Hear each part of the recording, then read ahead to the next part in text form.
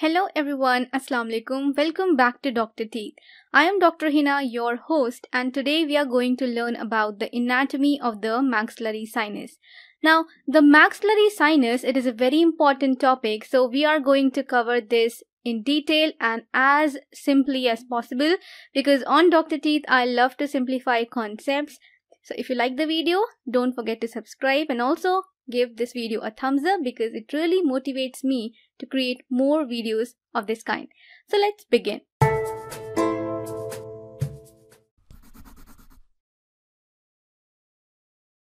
Now, what I'm going to do, I am going to bring something for you here. So here we have it. Now, if you can make out from my drawing skill, this is our nose, this is the eye, okay. Now, what is this structure here? This is the maxillary sinus. So let us understand first what is sinus, okay? And then we'll see what are paranasal sinus and then we will talk about this specific sinus that is the maxillary sinus in detail. Okay, so what all we have to know? We have to know what is a sinus, okay? So sinus is any cavity, okay? Any cavity or any space, you know, any, you can imagine a space here, that is a sinus.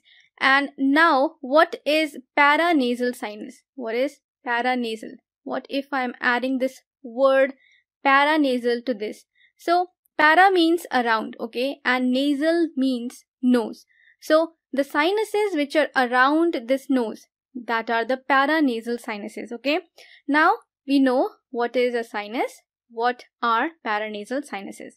Now we have to know how many sinuses are around the nose, okay? Means how many paranasal sinuses do we have? So there are four types of paranasal sinuses. Few are paired, few are single. Okay, we'll be seeing them in a while.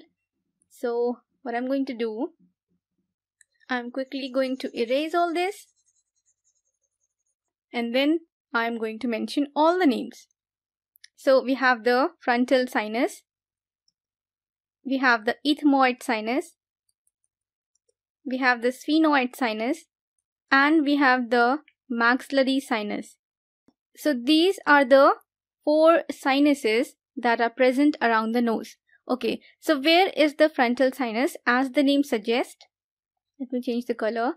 They are in the frontal bone. Okay, they are triangular shaped okay and they are in the frontal bone one on each side of the midline if I can draw a midline properly. So this is a frontal sinus. That is in the head okay. Then we have the ethmoid sinus. Now ethmoid sinus they are in between the two eyes okay. Somewhere here we will be having the ethmoid sinus okay. We have three of them anterior, middle and posterior. Okay, so they are in between the eyes, medial to the eyes you can say. And then we have the maxillary sinus. So these are also two in number. One will be here and one will be here. Okay. And they are present lateral to the nose. Okay. So we have learned the frontal, the ethmoid, the maxillary. One thing that is left is the sphenoid. Now from this view, we would be unable to see the sphenoid. Why? Because, you know, it's kind of in the sphenoid bone. If you remember the anatomy, the sphenoid bone is little posterior, right? Posterior to, you know, this area, this. So to visualize it will be difficult from this side. So I am going to switch to another side. Okay, so here we have our lateral profile. Okay, we are seeing the skull from the lateral side. Okay, so here we can appreciate this one is the maxillary sinus, alright? And somewhere here we have the frontal sinus and somewhere here we will be having, I always forget to change color, I'm sorry for that. To differentiate it we need to have different colors, okay? So this is the ethmoid sinus, okay? And somewhere here we have our sphenoid bone okay? We have our sphenoid bone. Don't go with my drawing. You can relate okay? This is just a diagrammatic representation to help you understand. So here we have the sphenoid bone all right and in that we have a sinus means we have a space and that is the sphenoid sinus okay? So from this side it will be clear. The ethmoid sinus they are of three types. So if I can write here I will be writing yes so we have the anterior the middle and the posterior okay now that we have a brief idea about the paranasal sinuses, we are going to talk about the functions of the sinus. What do they do? So the functions of the sinuses are they reduce the weight of the skull. Why? Because they are air filled spaces, there are cavity. That is why they reduce the weight of the skull. That is the function number one.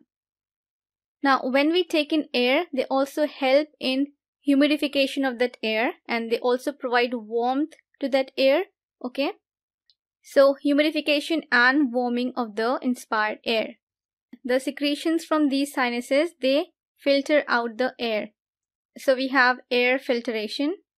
They also help in pressure damping. They can absorb any kind of shock that the person might experience. They provide vocal resonance. They help in olfactory function. So these are the major functions of the sinuses. They reduce the weight of the skull, they humidify and give warmth to the inspired air, they filter the air, they help in pressure damping, shock absorption, provide vocal resonance and also help in the olfactory function. Now we know the functions of the sinuses, right? Now let us quickly have a look at the connections of these sinuses with the nose, okay? how are they connected to the nose? There is a connection between our nose and these sinuses, means there are channels, there are openings through which these connect and the drainage and the secretions, you know, they are connected. So let us have a look at that. Okay, so here we have it. Now, first of all here, let us label all these things, okay? So this is the frontal sinus. And here we have the ethmoid sinus this one is the maxillary sinus. Now since this is the front view, we are not able to see the sphenoid sinus. So this is the eye. I think now it must be clear. This is the eye. This is the nose area. Okay, so this is the maxillary sinus. This is the frontal sinus and this is the ethmoid sinus. Now what are these structures? These are the concha. Okay, this is the superior nasal concha, this is the middle nasal concha and this is the inferior nasal concha. Okay. And behind these concha, we have the meatus. So we have the superior meatus, middle meatus and inferior meatus. Same here, superior, middle, inferior. Now here we can see we have opening in the maxillary sinus. And where is this opening? This is in the middle meatus. So the maxillary sinus, it drains into the middle meatus. We have something which is called as osteomeatal complex. Okay. Now osteomeatal complex is that area where the maxillary sinus, frontal sinus, ethmoid sinus, they drain. Okay.